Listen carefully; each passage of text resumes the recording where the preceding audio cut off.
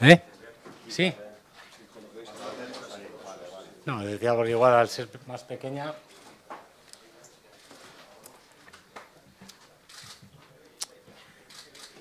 ¿Estamos todos? Bueno, primero, unón a todos, gracias por venir.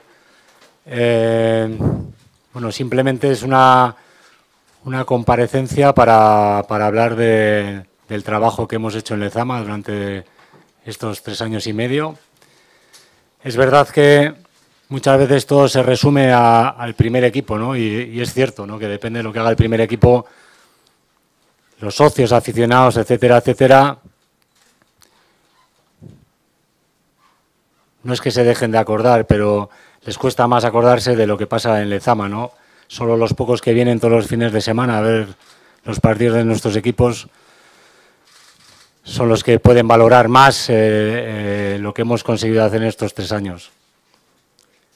Yo creo que hemos hecho muchas cosas que quizás las teníamos que haber contado poco a poco, ir comunicando, pero como digo, siempre el primer equipo es lo más importante. Yo personalmente creo, y lo he hablado con, con nuestros directivos y nuestro presidente, creo que el motor del primer equipo es Lezama. Y creo que Lezama es donde hay que poner el énfasis en todo. El mejorar, como no podría ser de otra manera, en todo tipo de recursos, porque además estamos viendo que cada vez va a ser más difícil eh, fichar fuera. Entonces tenemos que centrar todos nuestros recursos y todo nuestro poder y nuestra sapiencia en Lezama, porque nos van a, es lo que nos nutre realmente al primer equipo. De hecho, en estos tres años han subido muchos jugadores al primer equipo, han sido 12 jugadores al primer equipo. Y realmente el plan eh, que teníamos desde el principio, con la gente que queríamos desde el principio, que Aitor y la Junta Directiva nos, nos dejó hacer nuestro propio equipo de trabajo, lo cual es de agradecer. Creo que, como he dicho antes, todo se puede mejorar y todo hay que mejorar, pero creo que hemos sido capaces de, conseguir el tipo de jugador que creemos que tiene que tener el Atleti ahora mismo y para los próximos años. Hay una serie de datos y números que son totalmente objetivos, que son los que van a dar a continuación tanto Andoni Ayarza como Andoni Bombín. O sea que, sin más, les dejo a ellos con la palabra. Opa, Egunon. A ver, en principio, contextualizar esta, esta rueda de prensa, ¿no? Eh, nosotros ya teníamos marcadas las fechas en las que, queríamos hacerla, que era este fin de semana, terminada la, competición de todos los equipos de la estructura del club. Además, ayer domingo, el sábado terminó el Juvenil División de Honor, la Copa de Campeones, y ayer domingo nuestro Infantil 2008, ¿no? Tenemos que acordarnos de ellos, que también consiguieron ser campeones de la de la interterritorial entre los tres territorios de, la CAP, ¿no? Soriana también para nuestros infantiles. A ver, a partir de ahí, eh, la primera presentación quizá marca eh, ese juego de palabras, sentir y competir, tradición y ambición. Para nosotros son un poco los raíles que nos han guiado para hacer nuestro trabajo, ¿no? Que en el fondo también, también simbolizan eh, los dos grandes objetivos del club que podríamos saber, por un lado, respetar nuestra identidad. Tenemos, yo creo que en nuestra identidad está posiblemente el gran patrimonio de este club. Y luego, eso es una cosa, pero la otra es ser altamente competitivos a nivel deportivo, lo cual lo hemos buscado y creo que es esencial. Y desde el primer día que llegamos al Atleti, Buscamos que todos nuestros equipos, cuando nos hablaban de formar y ganar, creo que son palabras absolutamente complementarias en un centro de alto rendimiento, formar en valores, pero también construir ese gen competitivo que tienen que tener nuestros futbolistas si queremos que lleguen a la élite. ¿Dónde se hace esto? En Lezama. Lezama es, como decía Rafa, ha sido pasado. hay que agradecer a Félix Orá, Zarza, nuestro gerente, que en aquella época fueron unos visionarios, ¿no? Y viendo que, que por dónde iba el fútbol, 50 años atrás se dieron cuenta que, que, nuestro futuro iba a estar en Lezama y cada vez lo va a estar más, ¿no? Y afortunadamente, pues podemos decir que ese, que ese futuro lo tenemos construido, ¿no?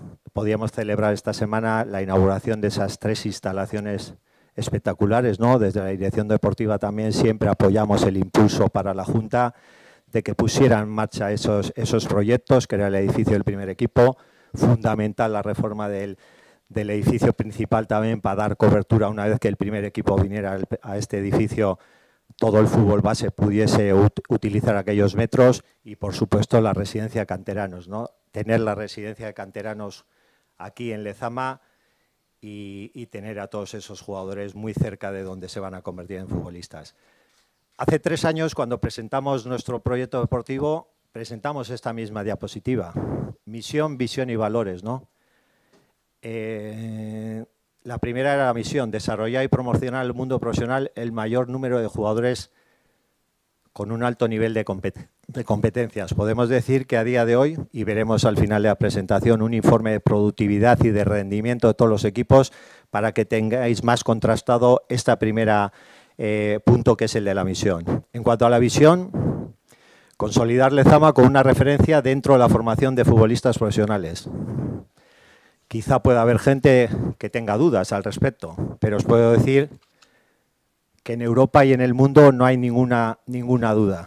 Lezama es una referencia en el fútbol mundial y os podemos decir que en estos años y a pesar de la pandemia, más de 100 profesionales del fútbol de países como España, Portugal, Holanda, Suecia, Francia, Alemania, Inglaterra, Argentina, Rusia, Grecia, Polonia, Estados Unidos han visitado Lezama atraídos por la estrategia de cantera y, un poco hasta sorprendidos por el nivel de productividad y de rendimiento de una factoría como la nuestra, como ellos llaman la academia, ¿no? La academia del fútbol del Atleti, que la verdad es que vienen y de hecho la ECA, a propuesta de muchos clubes, también en marzo de 2022 se celebró con 50 clubes europeos en Samamés, y donde nos pidieron que les explicáramos cómo se conseguía esa productividad y ese nivel de rendimiento con una huerta, como dicen ellos, tan pequeña. ¿no?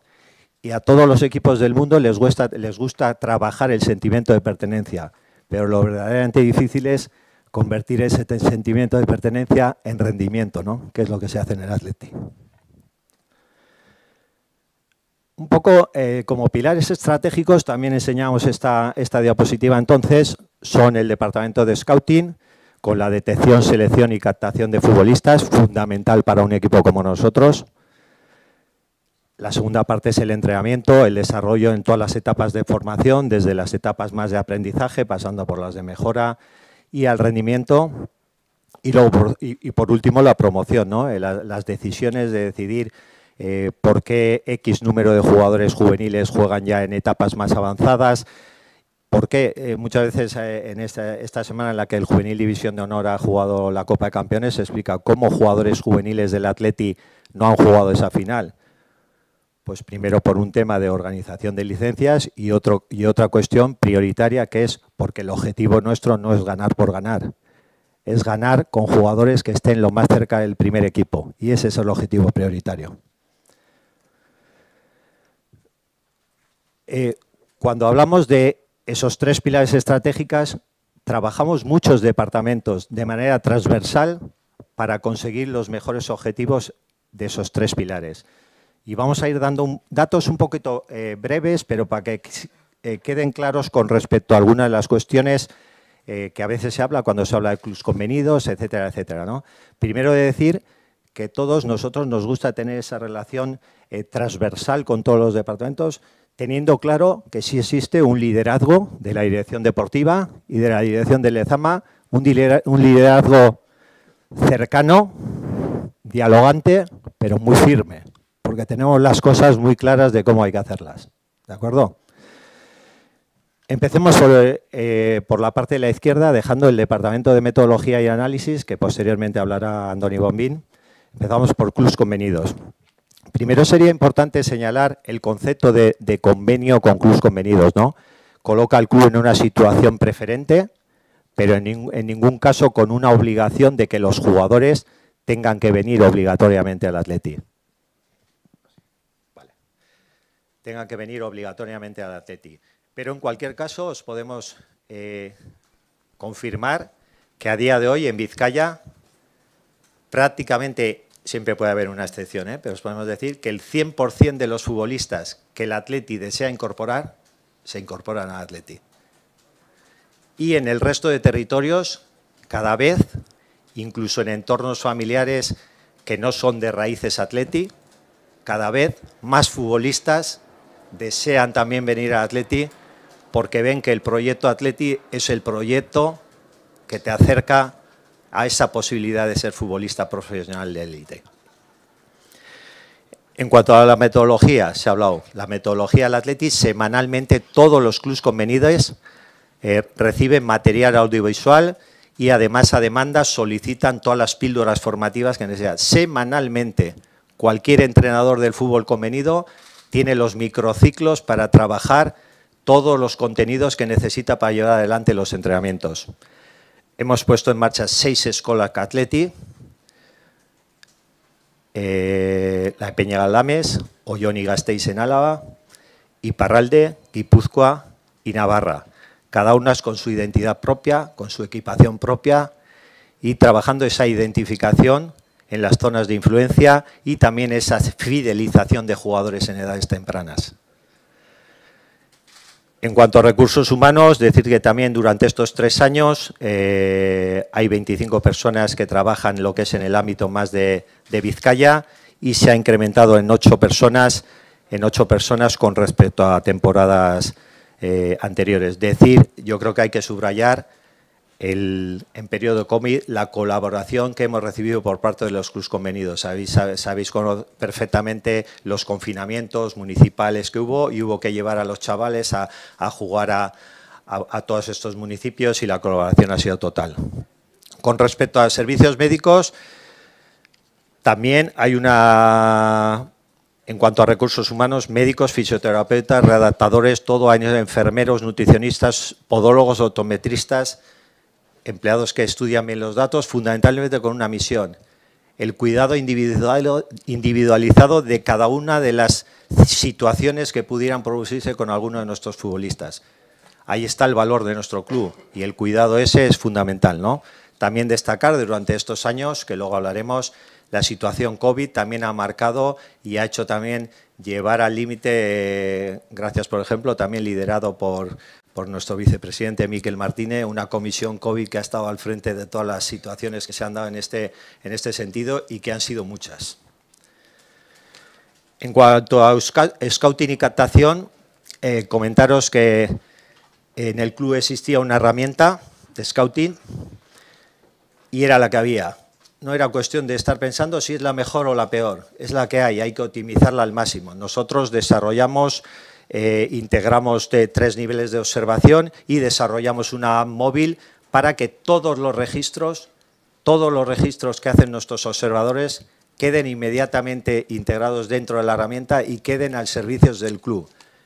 Esta temporada y dentro de 10 años. Eso, todos los registros estarán siempre al servicio del club. Y, por ejemplo, en la temporada eh, actual estamos hablando de 5.321 registros de observaciones.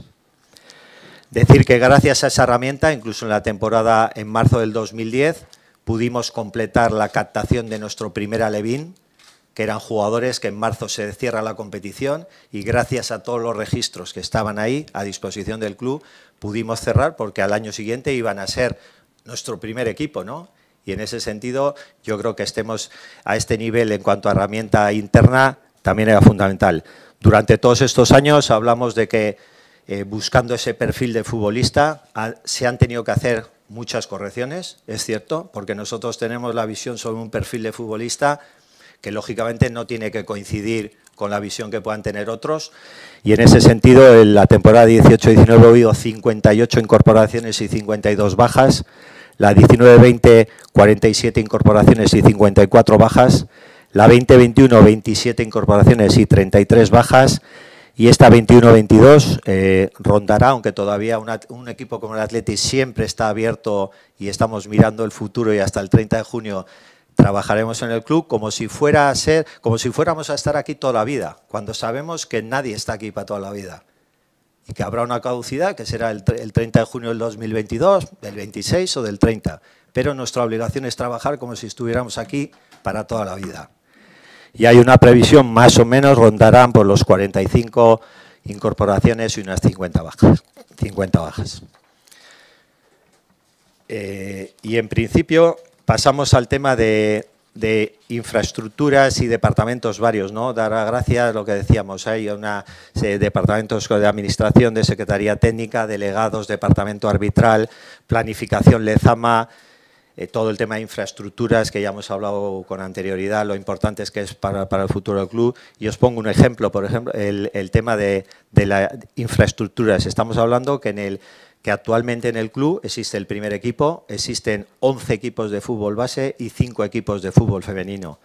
Todo eso nos obliga a optimizar al máximo campos, vestuarios, gimnasios, salas de audiovisuales, reuniones, porque además hemos estado en una época en la que hemos estado de obras, ¿no? Entonces, lógicamente, pues las dificultades eran mayores, pero aún así agradecer también a nuestro responsable de infraestructuras también, que nos lo ha puesto todo muy fácil, aún estando en obras, con unos lugares de trabajo muy dignos para trabajar, porque lo importante además está en el césped, no está en si estamos en un barracón o estamos en una oficina a cinco estrellas.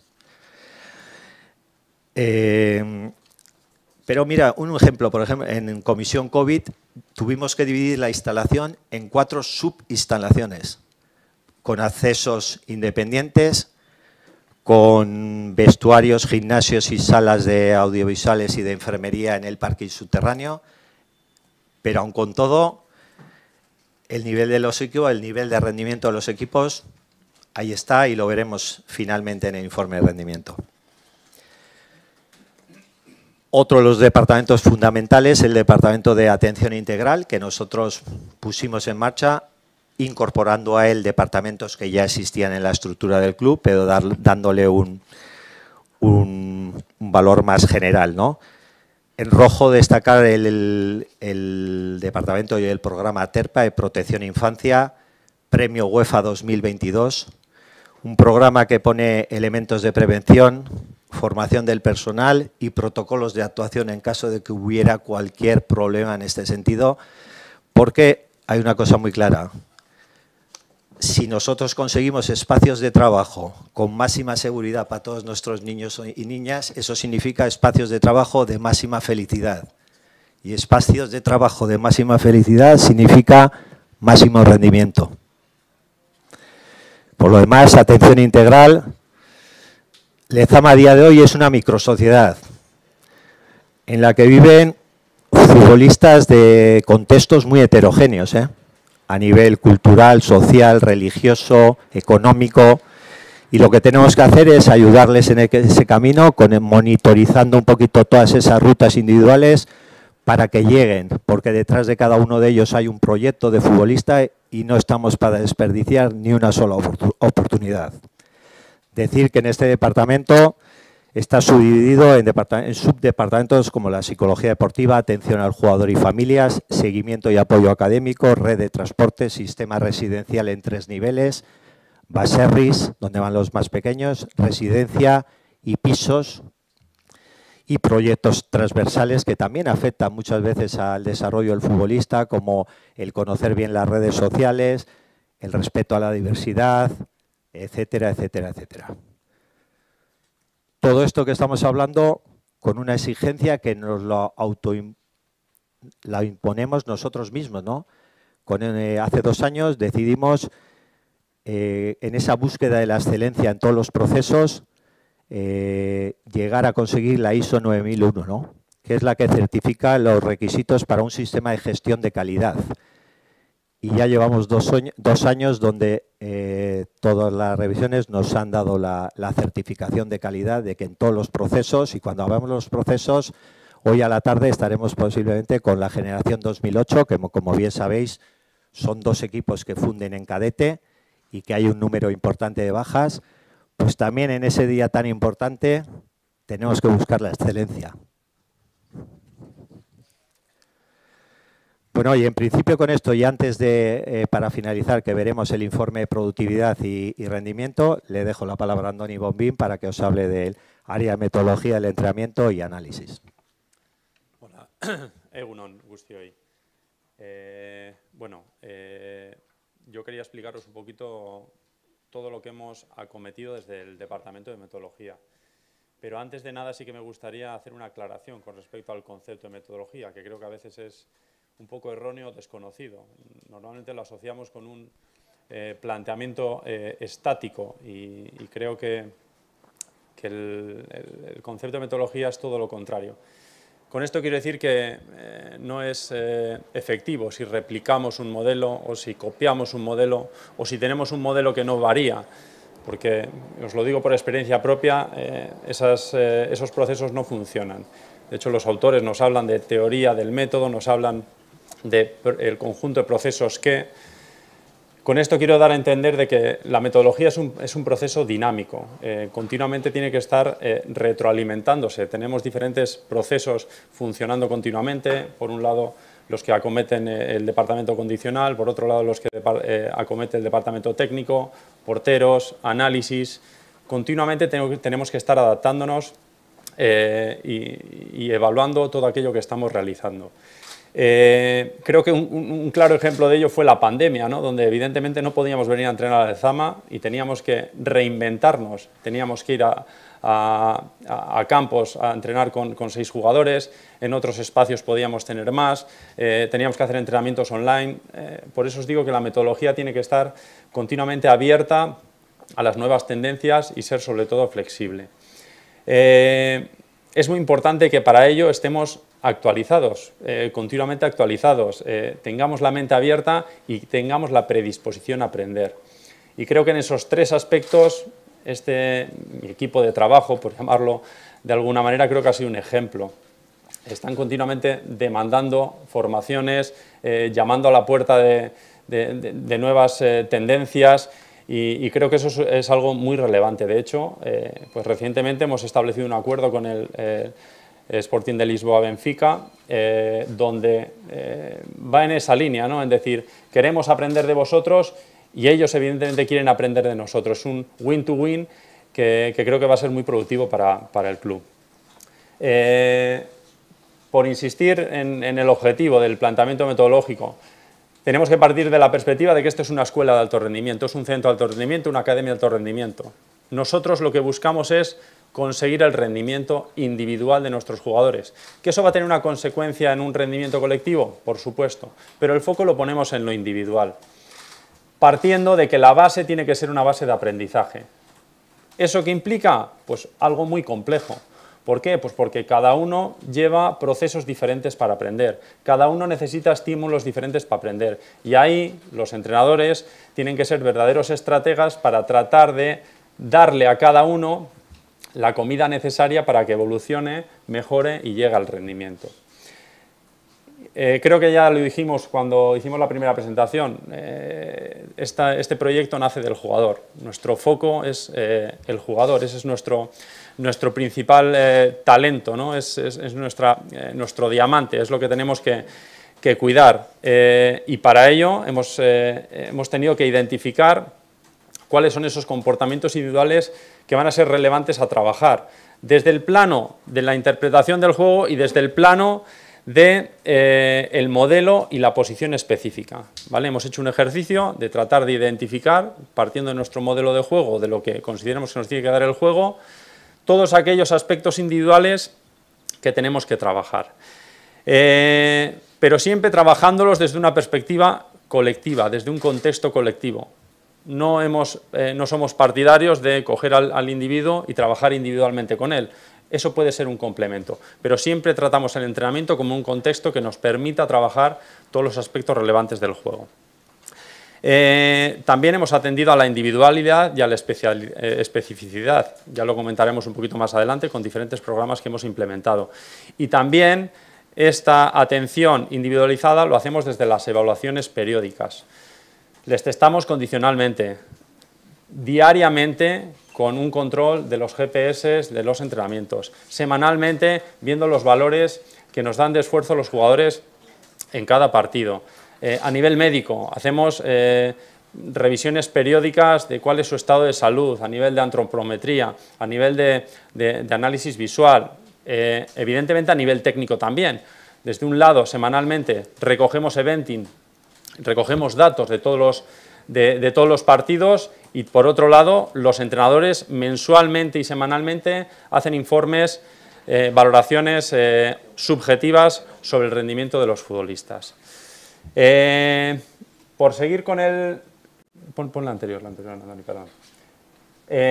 con respecto al modelo de juego, el modelo de juego nos sirvió para construir cómo íbamos a trabajar. Ese modelo de juego que nosotros hemos identificado y que eso nos permite identificar qué contenidos vamos a trabajar con todos, eh, con cada una de las etapas, a nivel de comportamientos colectivos, a nivel de comportamientos grupales y a nivel de comportamientos individuales. Y no lo confundamos con sistema de juego.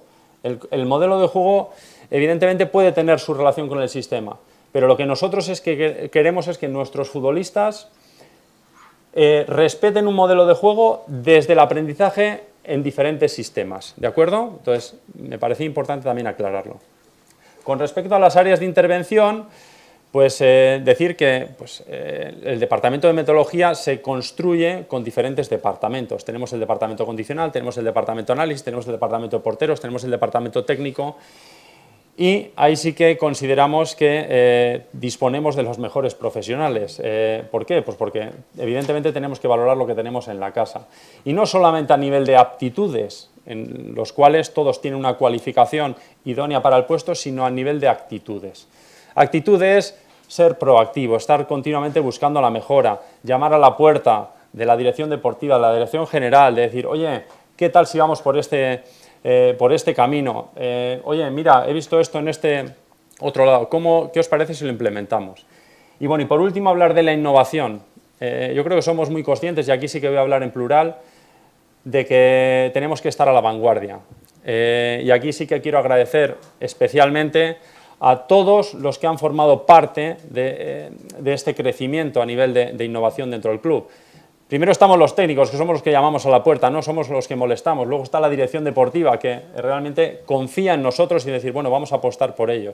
Y luego, tanto a la dirección general como, a la junta directiva, que son los que finalmente tienen que avalar y aprobar esto. Directivos que están y que ya no están, que fueron eh, muy importantes en que el club diese, pasos eh, que os voy a, comentar eh, más adelante. Algunos de los sistemas que, tenemos implementados pues son sistemas de tracking con el tema de los GPS, sistemas de venting automático con, cámaras que tenemos instaladas con sistemas como el de Bipro 11, eh, sistemas de grabación automática con, cámaras mucho más efectivas que, las llevamos, son portables, las llevamos a los campos y nos, nos graban el partido y luego se nos sube automáticamente son eh, propuestas que hemos ido haciendo desde, desde, el área técnica y que se nos han ido concediendo en, ese, en esa apuesta por, por la innovación. Eh, análisis cognitivos, análisis de entrenamiento de habilidades perceptivas, sistemas, bueno, eh, un montón de, de, elementos que el club ha ido incorporando en esta apuesta por la innovación. Pasándome. Bueno, por haceros un, un, pequeño recorrido rápido sobre, sobre, tres aspectos relevantes que creo que son importantes. El primero es sobre el entrenamiento. Simplemente deciros que para nosotros es muy importante respetar los contextos de juego y eso implica respetar la lógica interna, todo aquello que atiende al juego. Eh, porterías, espacios, número de jugadores, etcétera, etcétera, y respetar el modelo de juego. Creemos que tenemos que mejorar a nuestros futbolistas en base a un criterio y a un modelo de juego que ha sido definido por la dirección deportiva. Respetar los procesos madurativos y fases sensibles. Aquí está el concepto de biobanding. Tenemos una persona dedicada en el club a estudiar cuáles son los procesos madurativos de nuestros jugadores. ¿Para qué? Para que podamos atenderles en función de esas necesidades. Y en función de, también de esos procesos, establecemos los objetivos y los contenidos a trabajar en las diferentes etapas. Otro aspecto relevante han sido los microciclos. Los microciclos es la estructura de trabajo que hemos planteado. Aquí tenemos dos tipos, unos que han sido más específicos para las etapas de rendimiento y una propuesta más formativa que hemos hecho para las etapas iniciales, con una estructura no lineal. ¿Esto qué quiere decir? Que no siempre íbamos a cuatro días de entrenamiento como veníamos haciendo habitualmente. ¿Por qué? Porque creemos que los jugadores necesitan también descanso y necesitan estímulos diferentes. Hemos aprovechado como actividades que hemos hecho recientemente hace dos semanas de venir a la piscina del primer equipo para hacer un trabajo acuático, por ejemplo, o organizar una charla con eh, eh, el Departamento de Psicología.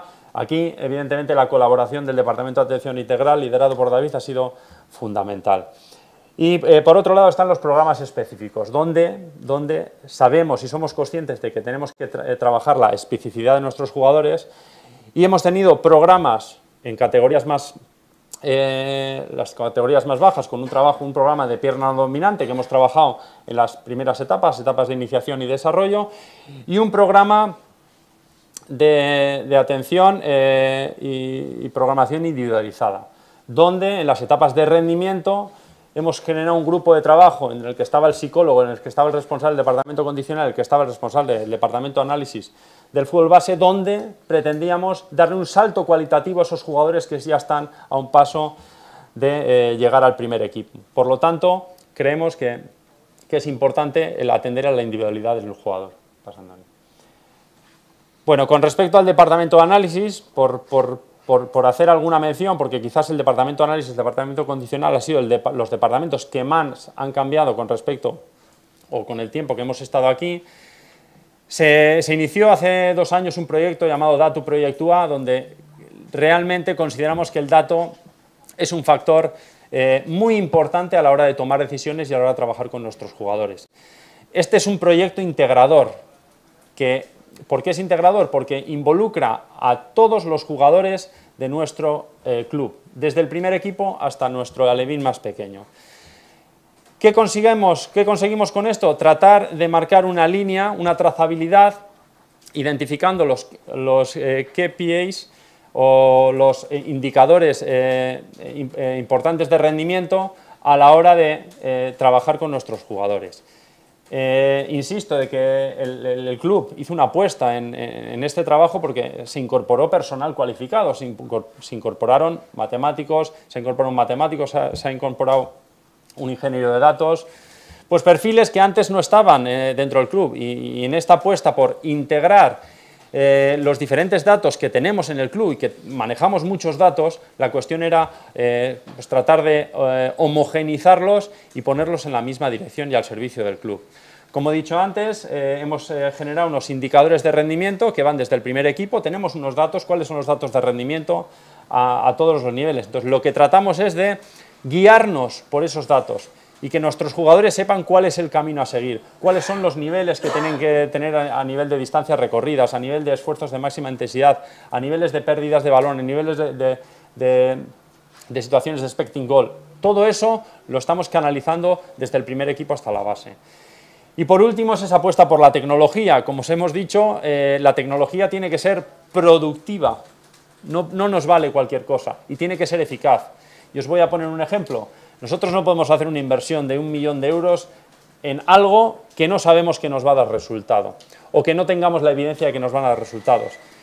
Y yo lo he constatado personalmente eh, en un club, que no voy a decir el nombre, donde había una inversión muy alta en tecnología y donde estaba reutilizada en otra función totalmente diferente. ¿Por qué? Pues porque el coste era demasiado elevado para lo que les estaba aportando. Y creo que en eso tenemos que ser muy conscientes y en esto la exigencia de la dirección general y de la dirección deportiva eh, y, de los directivos ha sido muy importante. Nos han pedido siempre que eh, demostremos o que les demos argumentos para que realmente se, haga, se haga una inversión en tecnología. Por lo tanto, insisto que tiene que agilizarnos los procesos, como nos lo agilizan las cámaras, que nos permiten disponer de las grabaciones de manera rápida, no tener que estar uno constantemente grabando el partido.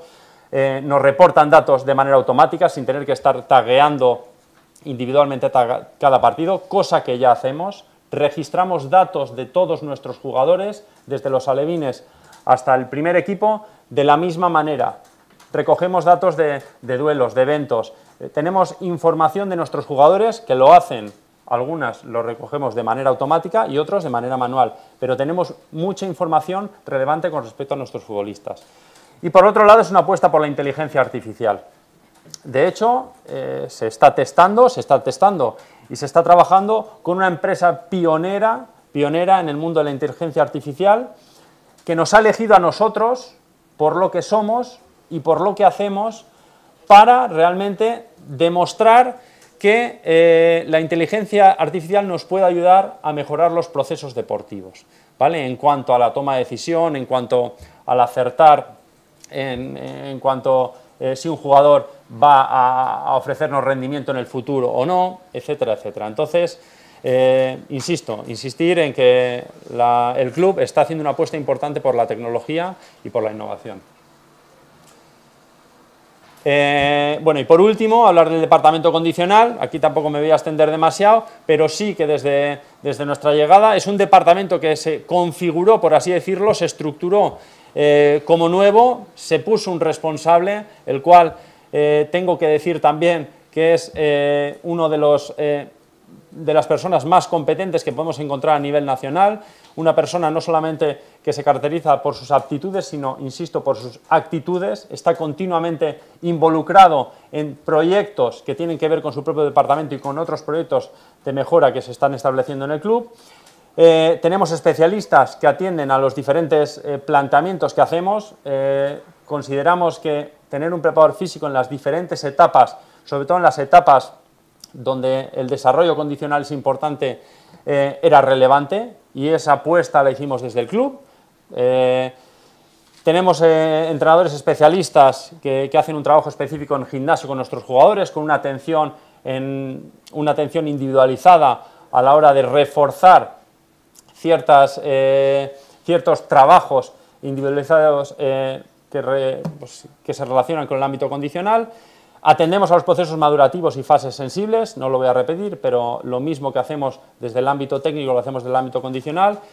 Con trabajos individualizados, insisto, hemos tenido dos vertientes, una etapa de rendimiento donde los preparadores físicos se encargaban individualmente de atender a las necesidades de sus jugadores. ¿Para qué? Para mejorarles en aquellas eh, necesidades que ellos tenían que mejorar y potenciarles evidentemente en las virtudes en las que ellos destacaban.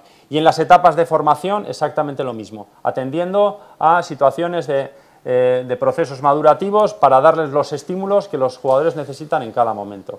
Y por último, eh, mencionar que todo esto se cuantificaba, para eso tenemos los GPS, donde eh, tenemos cuantificado pues, todos los entrenamientos con un registro de, de, cargas, con un registro de datos que reportan a cada tarea realizada y donde evidentemente tenemos las KPIs eh, de rendimiento que nos permiten seguir esa trazabilidad de nuestros jugadores desde la Levin hasta el primer equipo.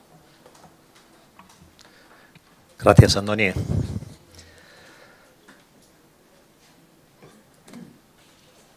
Bueno, como os he adelantado antes, eh, para cerrar un poco esta valoración final de temporada, eh, íbamos a presentar un informe de productividad y rendimiento.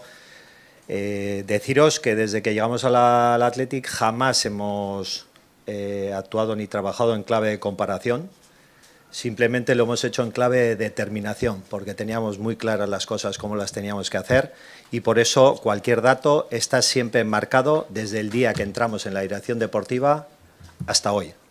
Ningún dato anterior a, esas fechas.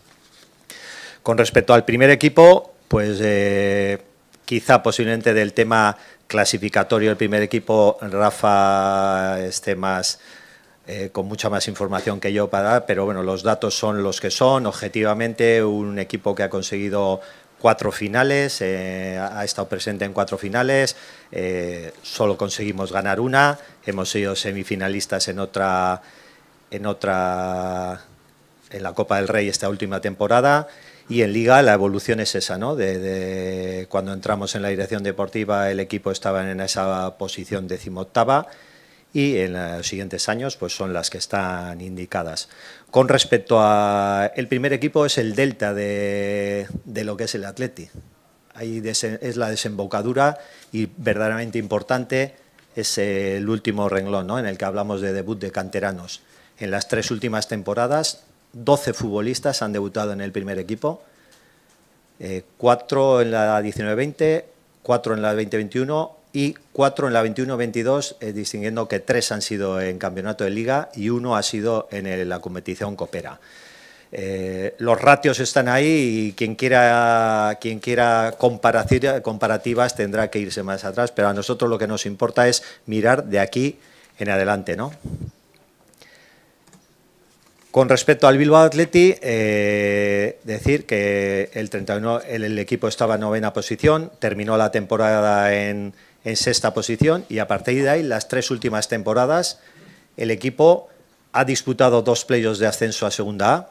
En, la anterior temporada, la 2021, supuso el ascenso a Primera Ref y en esta, pues sí es cierto, ¿no? con un poquito más, más sufrimiento del que nos hubiera gustado, pero eh, curtiendo a los futbolistas para que estén más cerca del primer equipo, que es lo verdaderamente importante, pues ha conseguido la, permanencia en primera red, que creo que es una categoría excelente para poder trabajar dentro de, Lezama. Con respecto al número de, canteranos, también eh, comentaros que 11 de esos 12 debuts siguen vinculados al club, lo cual demuestra que no son apariciones fugaces, sino que en la mayoría de los casos, y los nombres los tenéis vosotros, son jugadores consolidados y con un futuro, pues yo creo que muy estimulante, ¿no? Volvemos al, cuadro siguiente. Bilbao Atleti, lo que os comentaba, ¿no? Eh, la edad media, que se ha hablado del Bilbao Atleti, eh, del once inicial más joven utilizado en la temporada 19-20 eh, es con 20,4 años, y el utilizado en la 2021 20,5.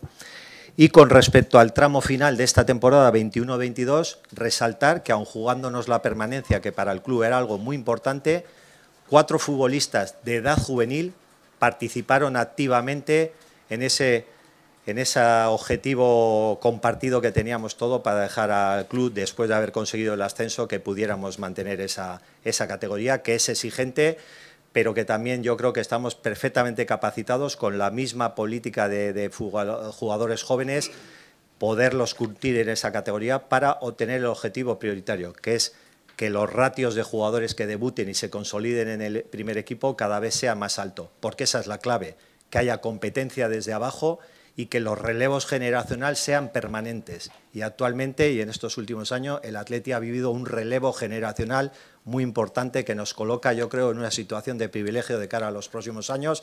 Lógicamente no fácil, pero para seguir trabajando y para poder tener alegrías.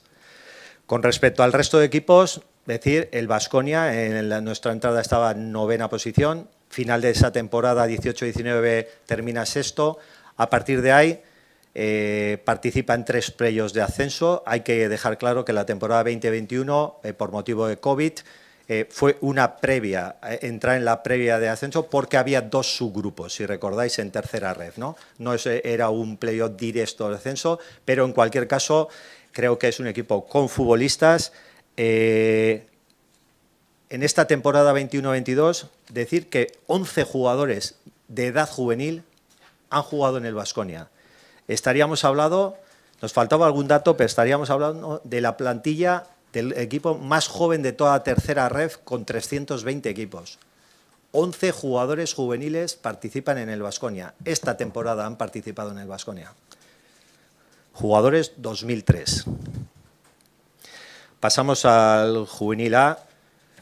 Bueno, lo hemos vivido recientemente, tan recientemente como que volvimos el sábado de, de Madrid. ¿no? Nos quedó la guinda de poder ganar al Barcelona, pero aún así yo creo que hay que subrayar el mérito de un equipo que venía, bueno, ahí veis, eh, octava posición el 31 del 12, termina la temporada séptimo, porque aunque se juega en siete, en siete grupos, lo que es en todo el Estado, no es nada fácil quedar primero de grupo.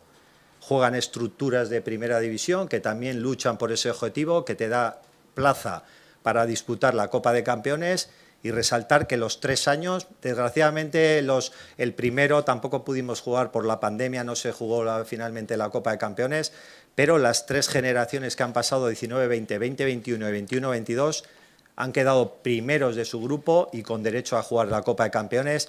Y este último año subrayar el equipo que ha quedado subcampeón, tenemos el, mejor, el segundo mejor equipo juvenil de España, ha sido también el equipo menos goleado y más goleador de la, categoría y por eso tuvo esa primera posición. Con respecto al juvenil B, en principio la evolución siempre ha sido de estar en, lo alto y este último año ha, habido un triple empate en la primera, en la primera posición. Y con respecto al cadete A, destacar también que era un equipo que cuando nosotros llegamos a Lezama y hemos pasado muchas horas hablando, hubo que tomar hasta decisiones muy importantes. ¿no? Estamos hablando de en un proceso de evaluación, de captación y mejora para el año siguiente, eh, de un equipo que está en, las, en el sexto escalón de la estructura Atleti, dar ocho bajas. Pero ocho bajas porque teníamos claro que el perfil de los futbolistas que había en esa plantilla no, no, no cumplían, no, respondían a la exigencia que íbamos a tener en los años posteriores. Y aunque son decisiones muy difíciles, porque os puedo asegurar que lo más ingrato es decirle a un futbolista que cuando hablas con un futbolista profesional que tiene un contrato, bueno, yo mismo he salido tres veces de Atleti, son cosas que las tienes que entender y que se acaban los contratos y a veces se renuevan y empieza la vida en otro lado, ¿no? Pero cuando, cuando le dices a un futbolista eh, aficionado, un cadete, un infantil, que, que, se acaba, no se acaba un contrato, se acaba un sueño, ¿no? Y siempre intentamos pues, hacerles ver que detrás de, ese, de, ese, de esa curva que han encontrado en el camino existe la posibilidad de volver, ¿vale? Y de ahí también los procesos de excelencia que en las despedidas los tenemos que llevar al límite. ¿De acuerdo? Y en principio, que os hablaba antes también de mirando al futuro, nosotros al margen de dónde pueda estar la, caducidad de esta dirección deportiva, el 30 de junio del 2023, el 30 de del 22, perdón, del 26, del 30, trabajamos como si fuéramos a estar toda la vida aquí. De hecho, trabajamos de este modo que las plantillas de la temporada que viene las tenemos que tener aseguradas y tenemos que tener lo más valioso que son nuestros jugadores, tienen que estar definidas, ¿no? Y adelantaros que pues, pues eh, el año que viene, por ejemplo, pues habrá un equipo eh, en el Bilbao Athletic con, con, 14, con 16 futbolistas que promocionarán desde abajo, que en el Vasconia habrá, que en el Vasconia habrá 12 jugadores juveniles y que seguiremos esta misma línea, ¿no? de, buscar el triunfo, querer ganar, pero en, contextos de máxima dificultad. Los contextos de máxima dificultad son los que nos van a llevar a la mejora continua, a exigir al futbolista sacar lo mejor de él. Porque más allá de que en un momento dado nos quedemos, pues por ejemplo, si, si los 11 futbolistas del Vasconia con, juveniles pudieran haber jugado en el, en el División de Honor, seguramente hubiéramos estado más, más cerca del triunfo en la Copa de Campeones. Pero es que hay algo más valioso que eso. Es preparar a esos futbolistas para que estén listos cuando les, les, llegue la oportunidad de jugar en el primer equipo. Y hoy en día los tenemos más preparados. Por último, Nata Placies del Observatorio de Prestigio ¿no? de Suizo, en el que ya nos decía cómo el Atleti entre los clubes, todos los clubes de las cinco primeras ligas de, europeas, es el equipo que más minutos concede a futbolistas canteranos. Y fíjate que estamos hablando de futbolistas que, vamos a decir, de una estadística que no incluye, por ejemplo, a futbolistas pues como Leque, Vesga, Yuri o De Marcos, que han estado también en la estructura, pero que no computan en absoluto, pues por ejemplo Vesga, porque sale cedido, etcétera, etcétera. Y ellos, como tienen que ser estancias eh, continuadas en el primer equipo durante tres años, no lo computan. Cuando para nosotros un jugador cedido, como pueden haber estado este año algunos jugadores, lo único que están haciendo es seguir su proceso de formación para llegar al primer equipo. Luego, si nosotros incluyéramos los, lo, el porcentaje que nos aportan esos futbolistas, la diferencia sería todavía más, más sustanciosa.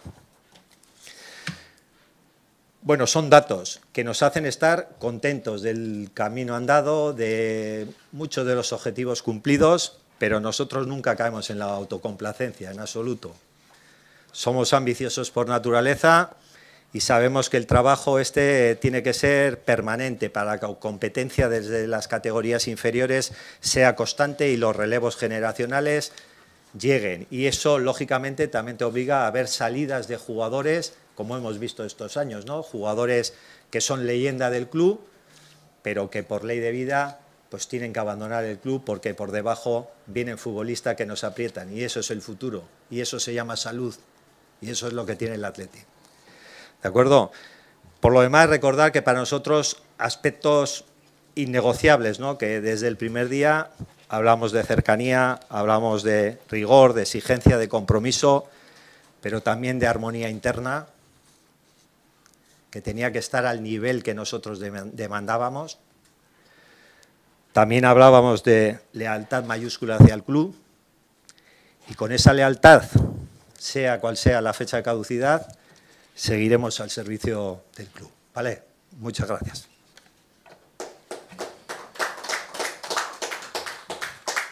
Bueno, realmente eh, espero que os haya gustado, lo hemos intentado resumir, no es fácil resumir todo lo que hemos hecho, todo lo que hemos hecho. Creo que queda constancia que hemos hecho muchas cosas, muchas cosas, y evidentemente, como decía al principio, todo hay que mejorarlo, y evidentemente nunca, nunca hay que bajar los brazos y creer que lo hemos hecho todo bien.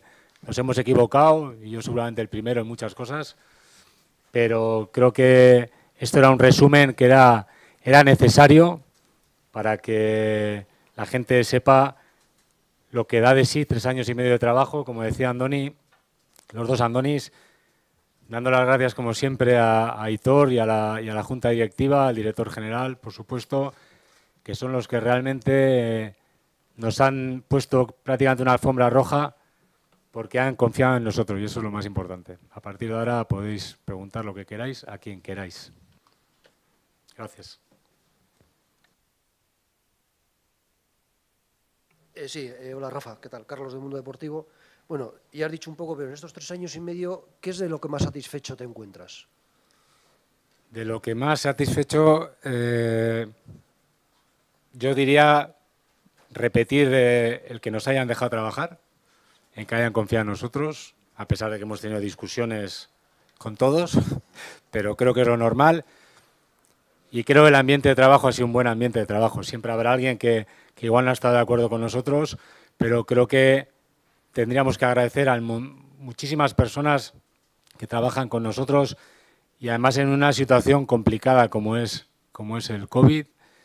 Eh, luego yo creo que hemos tenido hasta más unión, sobre todo los que estaban ahí abajo. Yo estaba en el Palacio y estos estaban en las 3.000 viviendas ahí abajo. Y había un poquito cachondeo y yo creo que se han unido todavía más, ¿no? Y han compartido, han compartido mucha más cercanía.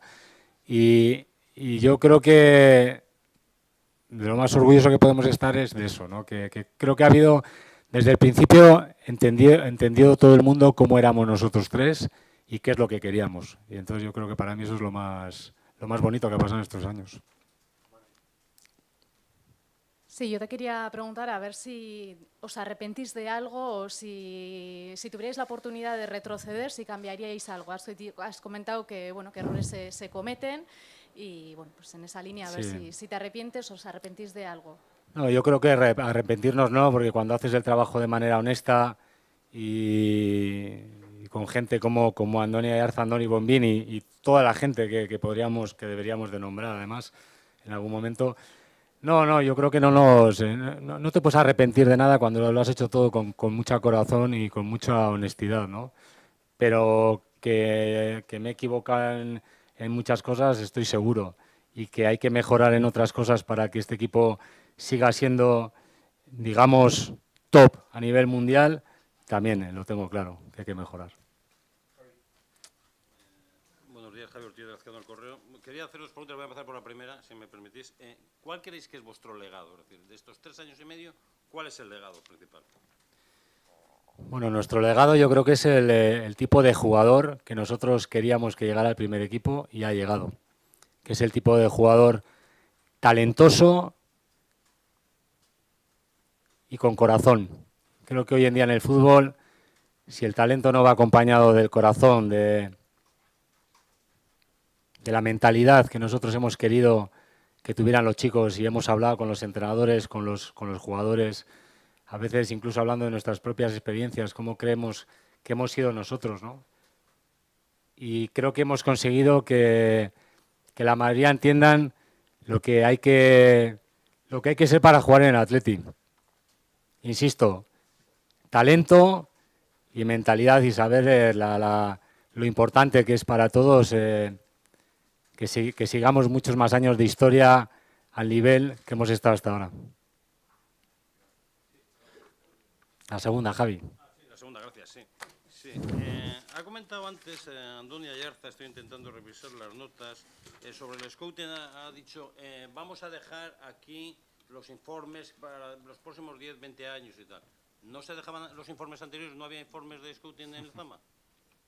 También he dicho que jamás hemos hablado en clave de comparación. Hemos hablado en clave de determinación y tener claro los niveles que nosotros queríamos que existieran en el club y en eso nos vamos a centrar. Existían unas herramientas y, existían unos registros, pero nosotros nos hemos puesto nuestros propios niveles, ¿vale? Y para completar el tema de, Rafa, de, de, legado, yo creo que hay una cosa dentro del club que era muy, muy importante, que era eh, el respeto y la colaboración, sobre todo la colaboración entre todos los profesionales del club y con especial hincapié se ha centrado en el jugador, la mejora continua, por supuesto, hemos, yo creo que hemos identificado el camino del futbolista que, puede llegar a la élite y que luego en la élite tiene posibilidades de competir, pero también identificar en el fútbol base el perfil de entrenadores que queremos, ¿no? que, que tengan claro una premisa. No son entrenadores de un equipo, son entrenadores de un club con un objetivo superior. Pero todos son muy importantes, pero tienen que tener eso claro y muchas veces pues choca un poquito con el objetivo individual del entrenador en ese partido, ¿no? Pero el objetivo, y yo creo que hay en esa armonía interna que hemos conseguido, también se ha conseguido ese objetivo muy importante. Hola, aquí Iván Martín de Radio Bilbao, Rafa. Eh, a ver cómo lo, cómo lo planteo. Eh, son tres años y medio de, lo, que, habéis eh, expuesto. Ahora llega un proceso electoral. ¿Nos da pena, nos da rabia que esto, no sé, dentro de unos meses habrá ahí otras tres personas, entiendo yo, eh, que, se pueda cortar? ¿Se podría cambiar? No sé, ¿qué, reflexión te lleva esto al respecto? que nos da pena está claro, ¿no? Porque a todos eh, nos, parece corto, ¿no? Creo que ha pasado muy rápido a pesar de lo intenso y de las cosas que hemos conseguido. Bueno, yo creo que en algún momento alguien se tendría que replantear eh, cada cuatro años. Yo creo que el EZAMA tiene que tener una continuidad, para mí mínimo de ocho años, para acoger a los niños con 12 años y cuando acaba esos ocho años saber exactamente qué, es lo que se ha conseguido y qué es lo que hay que hacer para, para, para conseguir el, el, reto que es el de llevar jugadores al primer equipo, ¿no? Yo creo que es, una pena, pero bueno, pero es así y hay que, hay que aceptarlo, no, no pasa nada. Y muy buenas, aquí, Imanol de Onda Vasca. Se habla en estos días de reformar Lezama, de transformar Lezama. Y yo os quería preguntar un poco a Rafa en primer lugar y luego a Andoni, Andoni Bombín, el tema de la digitalización. ¿Se incide tanto en digitalizar, en apostar por la tecnología? Pero a tenor de los informes que nos habéis dado, pues parece que esa salud en, la fábrica de jugadores de Lezama está bastante bien. Bueno, yo, sí creo que, como decía, he dicho en algún momento en esta rueda de prensa, todo, todo hay que mejorar, ¿no? Y nosotros, eh, evidentemente, tenemos un plan hecho para los próximos cuatro años donde los objetivos tienen que ser mejores, ¿no? Es nuestro trabajo, hasta el 30 de junio estamos aquí y estamos obligados a tener nuestro plan para los siguientes cuatro años. Evidentemente todos sabemos cuándo, cuándo acabamos. Y en cuanto a lo que decías de las herramientas eh, tecnológicas, que lo, que lo va a explicar mucho mejor Andoni, yo creo que el club ha dado un paso eh, muy importante y por eso es una de las cosas que nosotros queríamos contar, ¿no? que, realmente el club está en la, en la vanguardia de todo. Ya, ya, ya, no voy a decir a nivel de infraestructuras, lógicamente, pero creo que eso de la tecnología, que haya mucha gente que le gusta nombrar, pues hombre, nosotros creo que estamos en una buena situación. Sí, como he comentado antes, eh, yo creo que la apuesta de, esta dirección deportiva o de este departamento de metodología no es de, este año atrás. O sea, creo que desde que llegamos eh, hubo un interés por, por, enterarnos cómo, estaban, eh, cómo estaba el club digitalmente, hubo una apuesta importante por por transformar una herramienta que nosotros teníamos de, base de datos y que nos, nos, permitiese registrar la información de los, captadores, de los jugadores que, que estábamos observando y, paso a paso, evidentemente, eh, hemos ido en esa línea. Sea, sabemos que las nuevas tecnologías están para ayudar, para aportar y para eh, contribuir en, los procesos de, de mejora de los futbolistas. Por lo tanto, no sé qué se está diciendo. Eh, entiendo que, bueno, eh, que si se dicen cosas es por el desconocimiento que hay. Pues bueno, que sirva esto también pues, para dar a conocer eh, pues todas las cosas que, se están haciendo desde el club y que se, que se venían haciendo también. No es algo que, estemos haciendo solo esta temporada. Entonces, no sé si esto hay que cada, cada fin de temporada explicarlo o exponerlo, yo creo que es más de cuestión de confiar, de saber que el que esté aquí está haciendo las cosas por y para el bien del club, yo creo que eso es mucho más importante que, pues bueno, que el andar ahora demostrando o, certificando cosas. ¿no? Entonces, bueno, simplemente decir que el, que el club hace una apuesta importante por la innovación, por la tecnología y por la digitalización.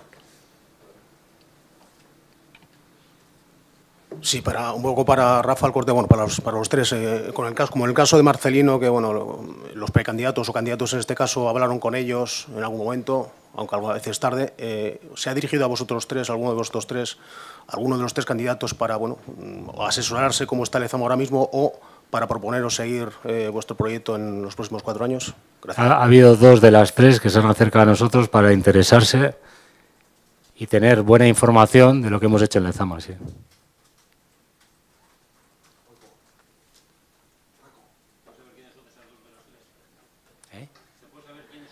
Hombre, son eh, conversaciones privadas. Pero si tú que eres listo de narices, seguro que aciertas. No, no, y sí, aparte estoy seguro que lo sabes. Eh, Rafael, y lo que dices, esas dos precandidaturas que se ha puesto en contacto con vosotros, ¿creéis que habéis dejado listo en alto? Sin ninguna duda. Creo que si has oído toda la rueda de prensa, evidentemente el listón lo hemos dejado muy alto en Lezama.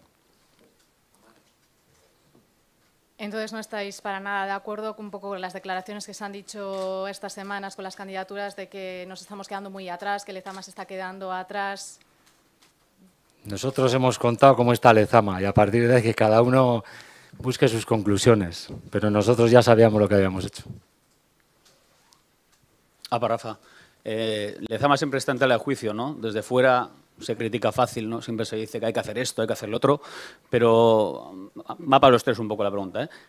¿Qué críticas son las que más duelen?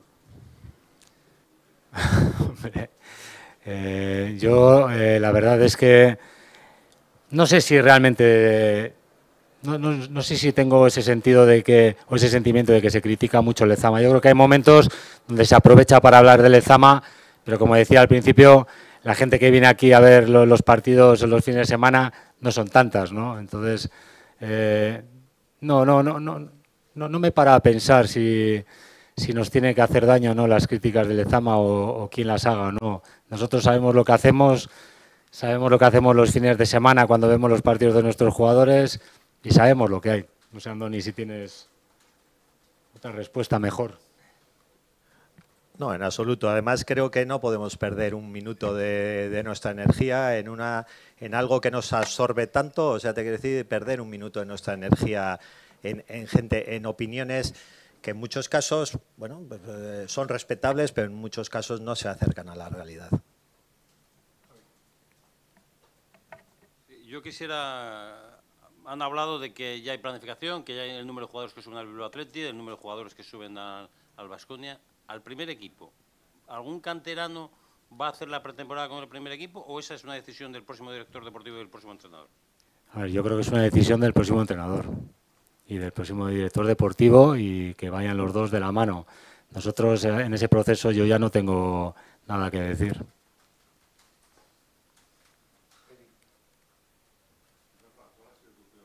O en, en la dirección deportiva. Ha habido temas polémicos, sobre todo respecto a la primera plantilla. ¿El, peor momento? Pues seguramente cada vez que le he tenido que decir a, a un jugador que, que, no le renovaba, ¿no? Además, jugadores importantes, jugadores históricos y jugadores con los que he tenido incluso relación, de alguna manera.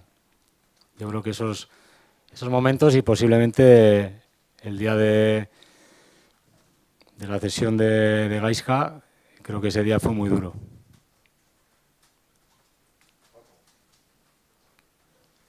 Rafa, bueno, dejáis la herencia de Lezama, pero respecto al primer equipo también está pendiente la, renovación de Íñigo Martínez. ¿Habéis entablado alguna conversación con, el jugador al respecto? No, no, no, voy a hablar nada del primer equipo, Paco, porque yo creo que mañana los titulares tienen que ser sobre Lezama, no sobre Íñigo Martínez. Pero cuando quieras, sabes que mi, tener, mi, mi teléfono está abierto. ¿eh? Cada uno, el que quiera hacerme una entrevista, si todavía tengo algo interesante para vosotros, sabéis cuál es mi teléfono. Hablando de Lezama, eh, Sí, ¿me gracias. ¿puedes aclarar un poquito qué ha pasado con, con Álvaro Núñez? Bueno, es una aclaración eh, fácil, ¿no? Es un jugador que solo le podemos desear mucha suerte en su próximo destino, donde nos- no hemos llegado a un acuerdo en la negociación con él, después de ofrecerle años de contrato y una mejora en su contrato, y él ha decidido irse, ¿no? Ojalá algún día pueda retornar, a nosotros nos hubiera gustado que siguiera con nosotros, pero creo que él ha sido muy valiente también en, en dejar la estructura del Atleti ir a otro sitio.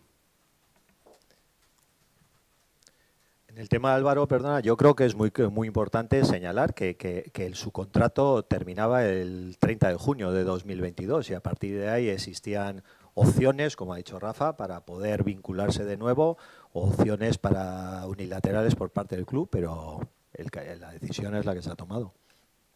Yo quisiera insistir en este caso en el de Álvaro Núñez.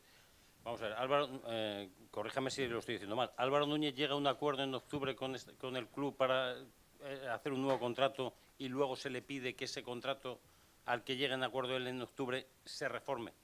No, eh, Álvaro tiene un contrato donde hay una opción de primer equipo que el club y la dirección deportiva lo que estima es que no la va, no la va, eh, eh, no, no la va a poner en efectivo, pero le ofrecemos un contrato donde nosotros creemos que estamos más cómodos con él para que siga con nosotros y él decide que no. Sí, pero ¿ustedes llegaron a un acuerdo con él en, en octubre para un nuevo contrato?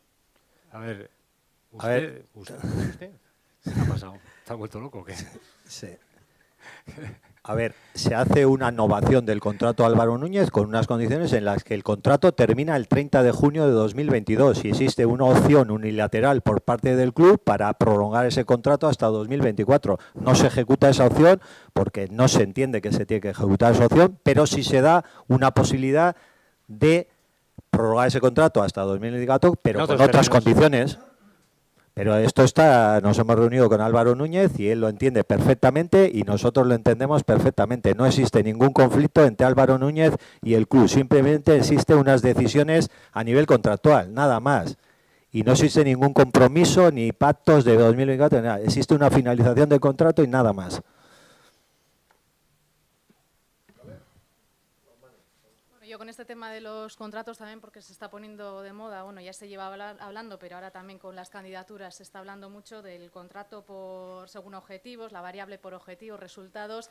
Desde vuestra experiencia, ¿os parece que esto, esto es posible? ¿Lo habéis No, intentado en es- algún momento? Es tan, es tan posible, es tan posible que esta Junta Directiva, eh, una de las premisas que tenía desde el minuto uno es que hiciéramos contratos con objetivos.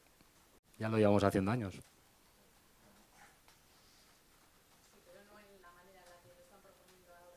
No sé los porcentajes, porque puede variar, pero evidentemente nosotros estamos haciendo eh, objetivos. Eh,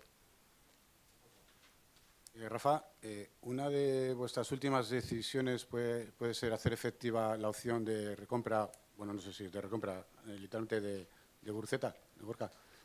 Bueno, yo creo que eso ya a mí no me compete de ninguna manera. Evidentemente ha hecho un buen año y yo creo que con el año que ha hecho, pues eh, podría volver perfectamente. No hay unos plazos para ejecutarla. A ver, sigo diciendo lo mismo de antes, que no es algo que a mí me compete. Es algo que nosotros lo tenemos hablado, yo he dado mi informe deportivo y nada más. Pero el siguiente será el que decida.